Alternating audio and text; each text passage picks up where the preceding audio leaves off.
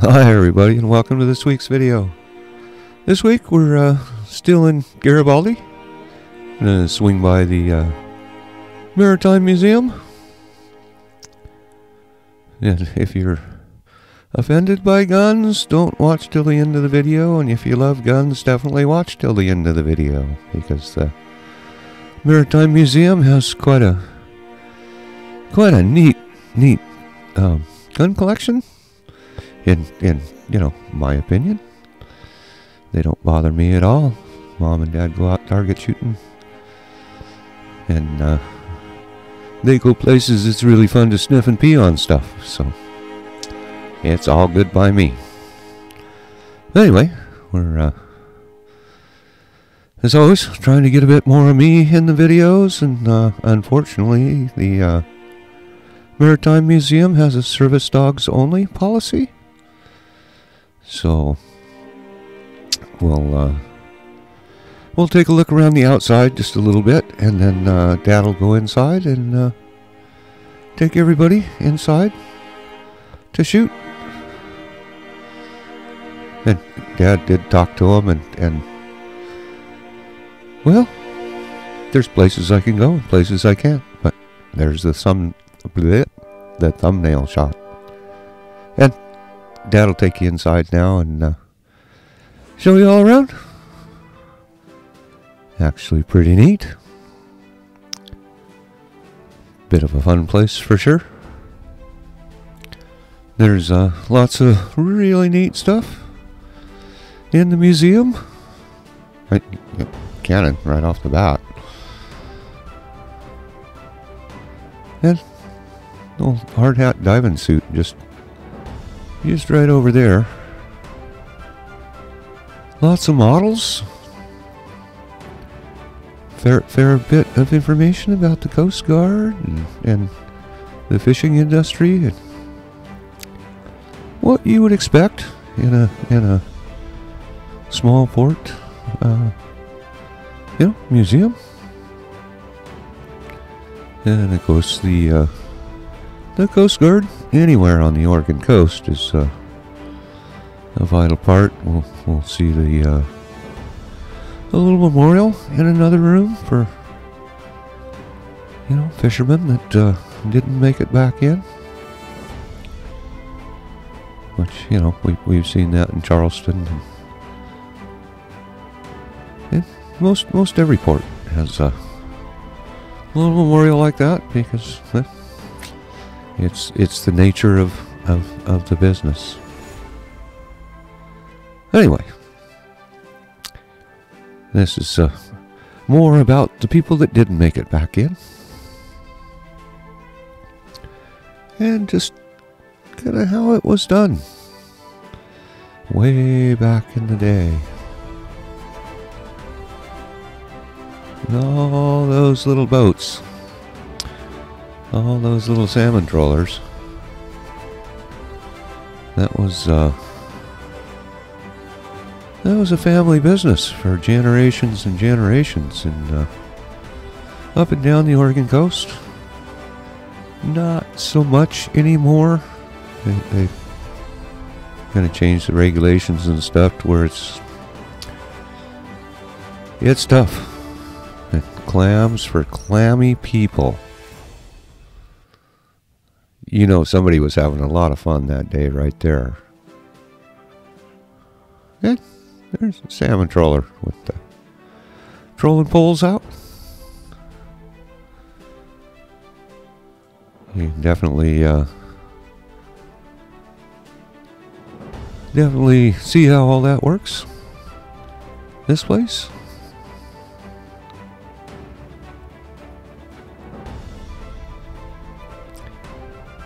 Then, of course, we don't get to see all of it. And the Lady Washington. Is, if you've been watching the channel for a while, you, you know Dad loves the Lady Washington. He, he worked on it for for a while there. And, and you know, played pirate on the weekends and, and played with school kids on the during the week. So teaching them history, that's what the lady does now a, a replica of the original boat. The the reason this museum has so much about it is this was the uh, Garibaldi was the the first place that the uh, Lady Washington made landfall on the west coast after coming around the Horn. They sailed. Uh, there, there's a picture of her. And more pictures of her. It's a, a pretty interesting history on the boat if, uh, if you look back at it. And the two different rigs that she had.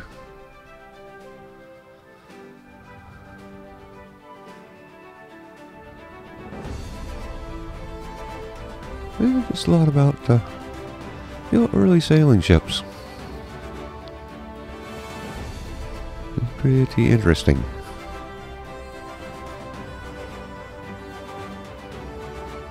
And kind of what they were. Uh, a lot of trade going on with the uh, local people that were here at the time. They uh, basically were trading sea otter pelts because that's what the Chinese wanted. Chinese kind of had most of the stuff that everybody else wanted, so. You know, tea, silk, all that back in the back in those early trading days. Of how the ships were set up, but and, you know, sea otters because well, that, that was the big ticket item. One, one sea otter pelt was was worth uh, you know a guy's wages for a long time.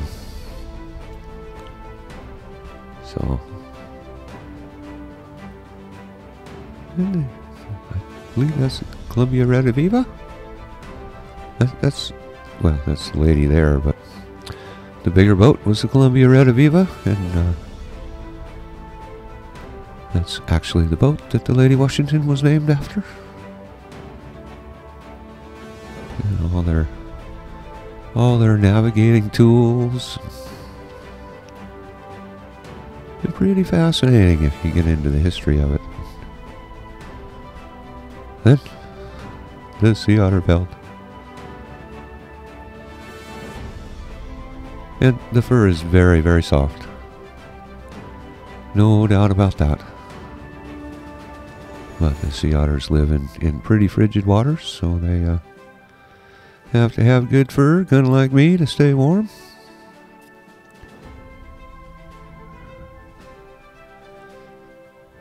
Yeah, like I was saying, a, pretty fair amount about the lady. She, yeah. and that that's not a wheel off a that that's off a steamboat or something there. A big ship.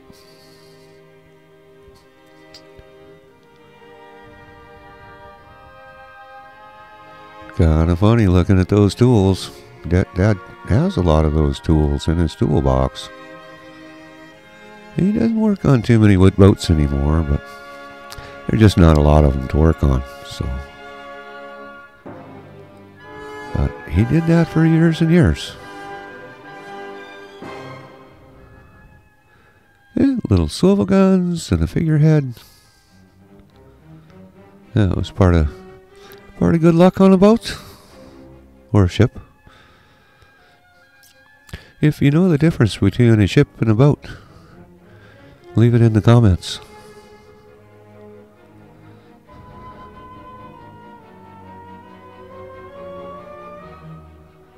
And and there is a difference. It's it's real simple.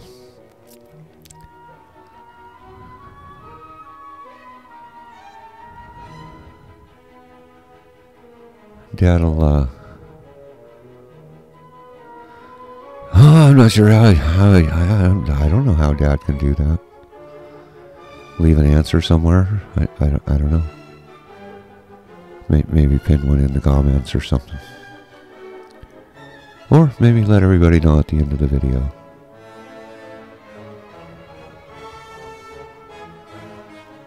It is kind of funny seeing this stuff on the walls because it, it, it kind of looks like Dad's shop. A bunch of that stuff is just, you know, sitting in Dad's shop. It's just not, you know, behind glass in the case. Dad usually has to clean it up. Just because we live in the Northwest, and so, uh, rust is something you just fight all the time, so. Yeah, it does a pretty good job, but every once in a while for, you know, stuff that just hardly ever gets used.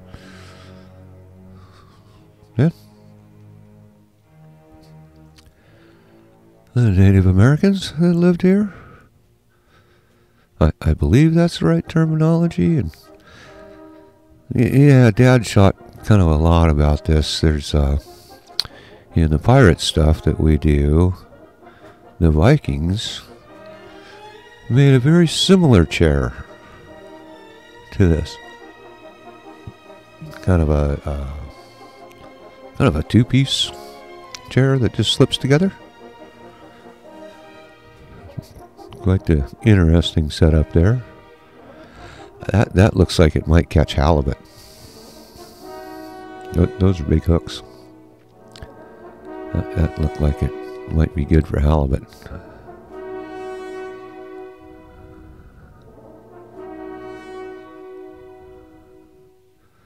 And just all the cool old tools.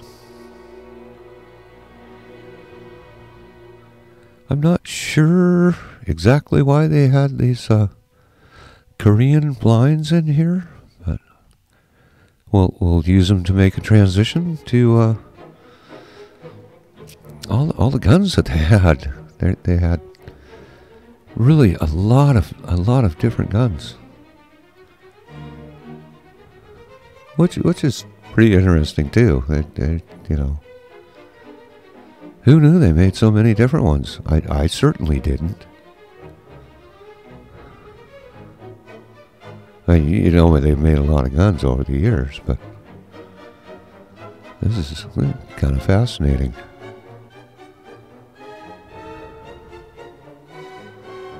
And a, a, lot of this stuff kind of a little bit newer than the Lady Washington days.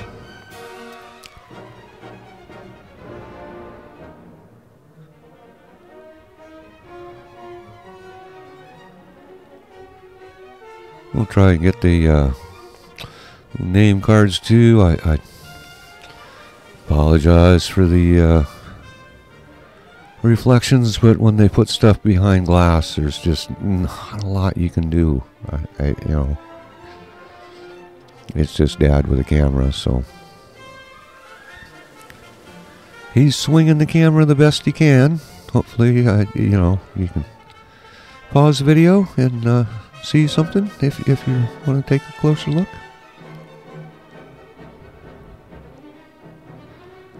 I do want to give a, a quick shout out to all the new subscribers and everybody who watches. It's uh, does a Pyrenees heart good. Really, truly does. So just some some very interesting weapons. You know, guns, weapons, uh, you know.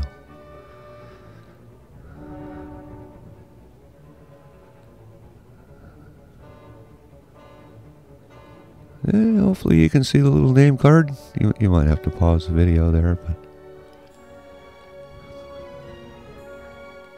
it, it's hard with the reflection in the window, but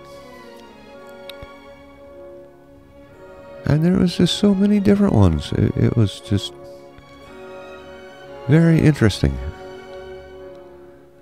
The the slight little differences in in you know this one and that one and that one and that one and that one. Rather fascinating.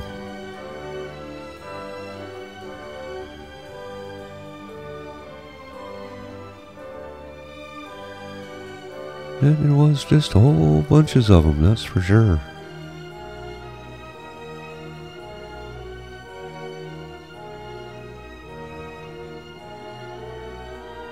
So if, if you're not a gun nut, you, you're probably clicked out by now, but if you are, check this out. That, that, that's a bit of a cannon right there.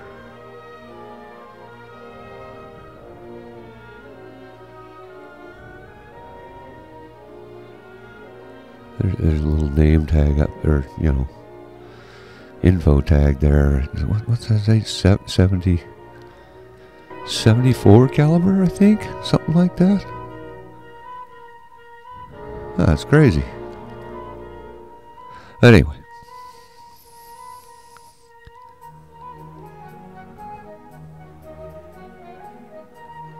Then a few more. But wait, there, there's still more.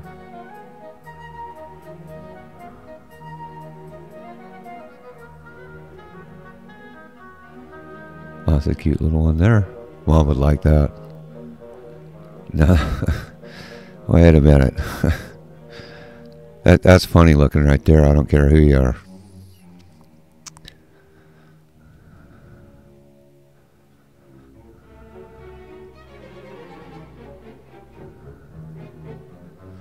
But this isn't a huge museum, so there's there's not a fantastic amount to see, but a lot of really neat stuff to see. I really uh,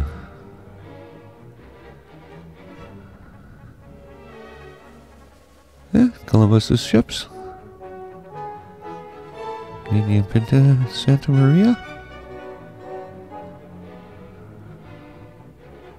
Dad knows that stuff. I don't. But, you know, Dad does my voice, so I have to say thank you to the folks who, who brought those ship's wheels in. That's pretty amazing. And if you're through this way and, and stop by the museum, definitely uh, grab something out of the gift shop. We'll, we'll do a quick little spin around here they, they actually have some, actually have some kind of neat stuff in the gift shop too. Not just the I, they got the normal little toys and trinkets, but actually got some kind of neat stuff too. That is, uh, since we're in the gift shop and, and this is a museum, we're, we're, of course getting close to the end of this week's video. I, I sure hope everybody enjoyed it. So, a little treat box for the kids. But that's going to about do it for this week. So until next week, I hope you enjoyed this video. Until then, have fun, stay safe. Cheers. Thank you so much for watching my video. If you like my videos, stick upon the thumbs up button. And for the newest, go ahead and paw that subscribe button. Thanks again. Cheers.